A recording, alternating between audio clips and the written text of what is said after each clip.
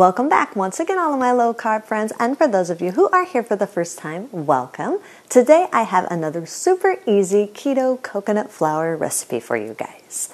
Today I'm going to teach you how to make easy keto coconut flour caramel flavored cinnamon rolls with a quick caramel flavored icing to go on top.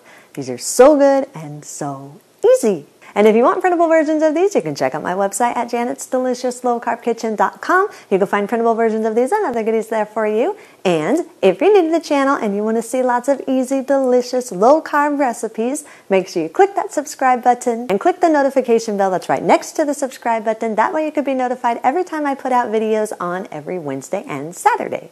And if you'd like to help support the channel, make sure you scroll down in the description of the video. You'll see some Amazon affiliate links. Anytime you purchase anything using those Amazon affiliate links, a small portion of your purchase will go to me and will help to support the channel. So, anytime you want to purchase anything on Amazon, make sure you remember me, use my affiliate link, and a small portion of your purchase will help to support the channel.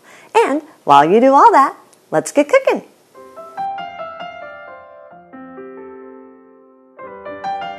Preheat your oven to 350 degrees.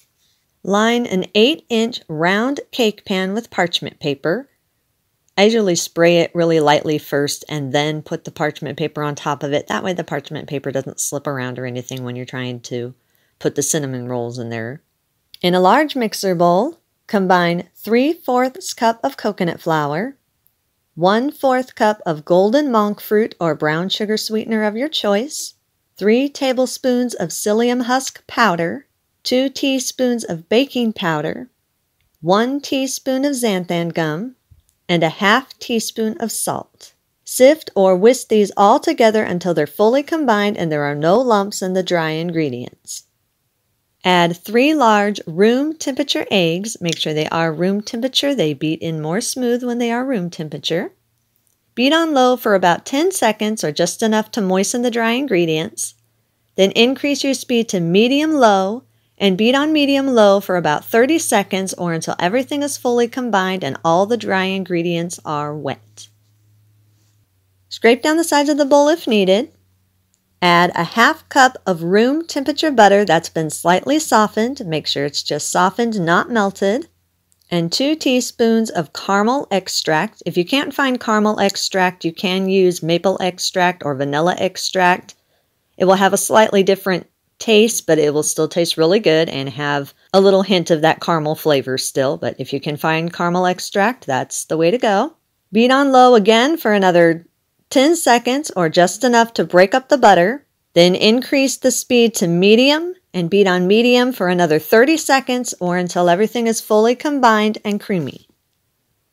Add 1 4th cup of warm milk of your choice. Make sure it is warm. You don't want it to be cold and you don't want it to be hot. You just want it just barely above room temperature is perfect. It helps the psyllium husk powder and the xanthan gum to bind a lot more smoothly when your milk is not cold. So you do not want cold milk in there. Beat together on low for another 10 seconds or just until the milk is starting to get incorporated with the other ingredients.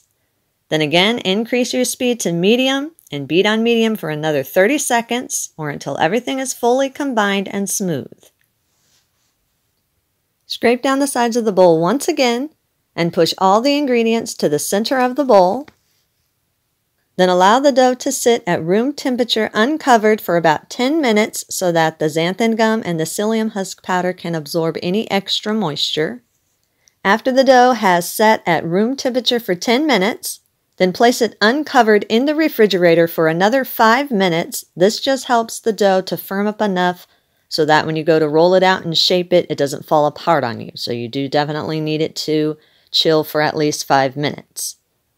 While the dough is in the refrigerator, we're going to make the filling. In a small bowl, combine 3 tablespoons of brown swerve or brown sugar sweetener of your choice and 2 tablespoons of ground cinnamon. Use your fingers and break up the brown swerve and combine it well with the ground cinnamon until the brown swerve and the ground cinnamon are fully combined. Add 2 tablespoons of melted butter that has been cooled. Make sure it's not hot. Then use a fork and stir the melted butter into the brown swerve and cinnamon until everything is fully combined. If you want to, you can add some finely chopped pecans if you like more of a sticky bun type filling. I'm not real big on pecans, so I don't put them in my cinnamon rolls, but it's up to you if you want to put that. Once it's combined, set it aside for a minute. Then remove the dough from the refrigerator. Massage it in your hands just a couple times just to make sure that it is the right texture. It should have a slight moist filling to it, but it should not be a super wet dough and it should not be sticking to your hands.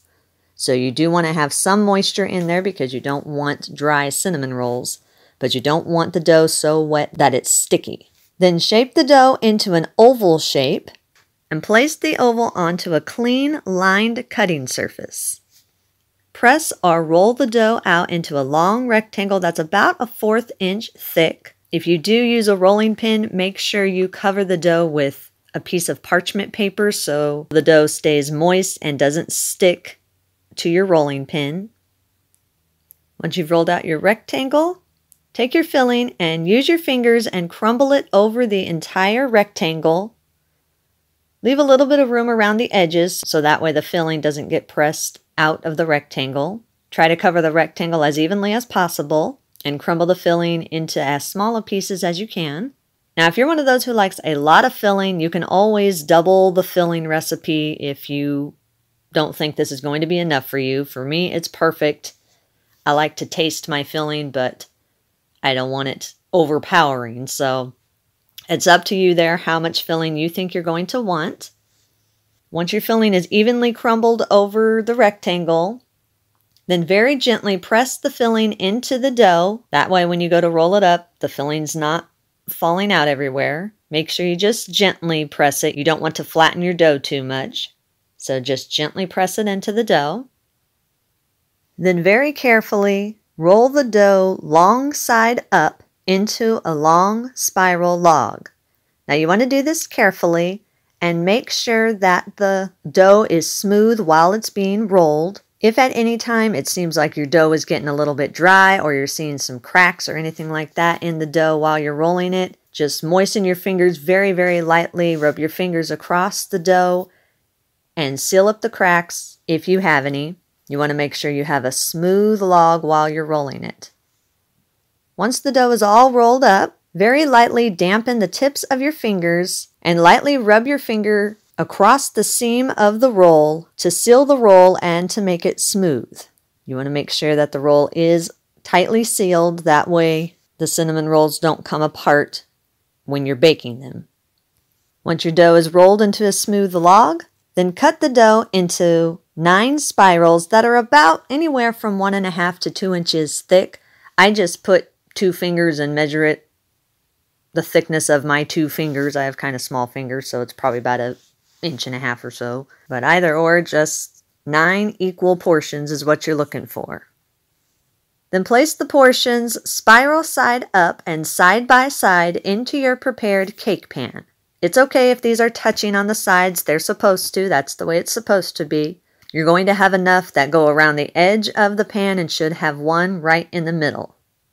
Then place them in your preheated oven and bake at 350 degrees for anywhere from 20 to 25 minutes or until they're lightly golden around the edges. For me, 23 minutes was perfect. But as I always say, everyone's oven is different. So 20 to 25 minutes, you're looking for them to be lightly golden on top. Now, when it starts getting down to about the last five minutes of your baking time, that's usually when I start making the icing. So for the icing, place a medium saucepan over medium heat, then combine 2 tablespoons of the milk of your choice, 2 tablespoons of butter, and 2 tablespoons of golden monk fruit sweetener or brown sugar sweetener of your choice. Whisk these all together until the butter is fully melted, until the butter and the monk fruit sweetener have fully melted and dissolved, and the mixture has come up to a low boil. Once it's come to a low boil, remove it from the heat, then add a half teaspoon of caramel extract. And again, if you can't find caramel extract, you can use vanilla or maple extract. They'll have a slightly different taste, but it will still taste good. Gradually whisk in one and a fourth cups powdered swerve or powdered sweetener of your choice in small amounts until it is fully combined. Make sure you do this just a little bit at a time Add a little bit of the powdered swerve, then whisk it in until it's fully combined and dissolved, and again a little bit more until it's fully combined and dissolved, until the entire one and a fourth cups of powdered swerve has been fully added and is fully dissolved. Once the powdered swerve has been fully added and fully dissolved, remove the cinnamon rolls from the oven. They will still be just a little bit soft, but they will firm up as they cool. Allow them to cool just for a couple minutes before you add the icing on top. Spoon the warm icing onto the warm cinnamon rolls and use your spoon just to evenly spread it over the top of each cinnamon roll. Once you've spread the icing on the cinnamon rolls, you can serve them immediately if you want to, or allow them to cool completely and store them in an airtight container in the refrigerator for up to five days. If you do decide you want to eat these later or another day, when you're ready to eat them, just pop them on a plate, pop them in your microwave for about 10 seconds, just enough to give them a little bit of a warmth to them, and they'll taste like they just came out of the oven. So eat and enjoy. And that's our recipe of the day. I hope you enjoyed it. If you did and you want to see more videos like this, make sure you click that thumbs up like button, click that subscribe button, leave me a comment if you want to. Let me know if there's any recipes that you'd like to learn how to make and I'll do what I can to get those out there for you. And as always, keep cooking.